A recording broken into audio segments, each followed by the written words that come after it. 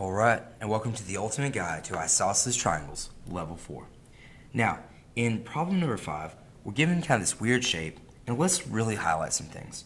We see here from this tick mark and from this tick mark that these two sides of this left triangle are congruent. And so what are we saying? Well, we're saying, hey, this is our isosceles triangle number 1. Alright, and then let's use two different colors I see here these two tick marks and these two tick marks are telling us, hey, these are the sides to what we'll call isosceles triangle number 2. Now this also says find the measure of PTR. So let's see P to T to R. So we're looking for this angle way over here. And so what they want to do in this problem is they want to give you T to P to R. They give you this initial angle is 42.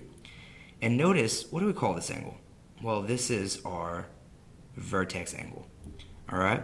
And so whenever you're looking at the isosceles triangle with our vertex angle, we know that this base angle right here is different, but it's congruent to that base angle right there. So what do we do? Well, we're just going to do 180 minus 42, which is 138.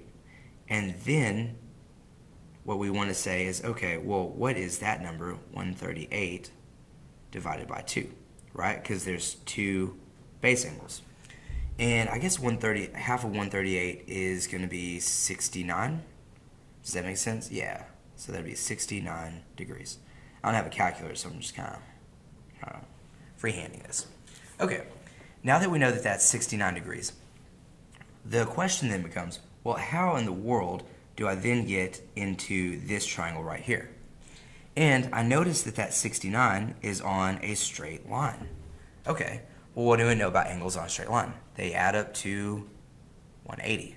So I can do 180 minus 69, which appears like it would be 131.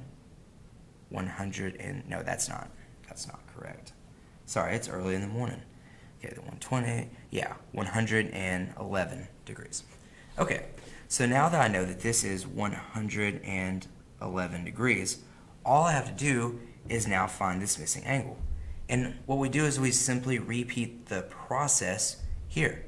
Okay? We simply repeat that. We say, okay, I know that these two base angles right here plus this vertex angle, they all add up to 180.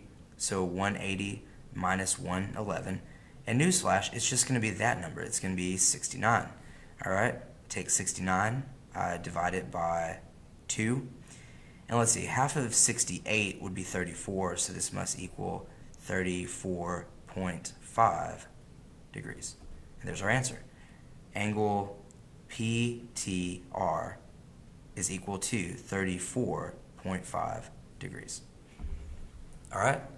These are the tricky ones. Take your time, really walk yourself through it, and I'll see y'all in our next video.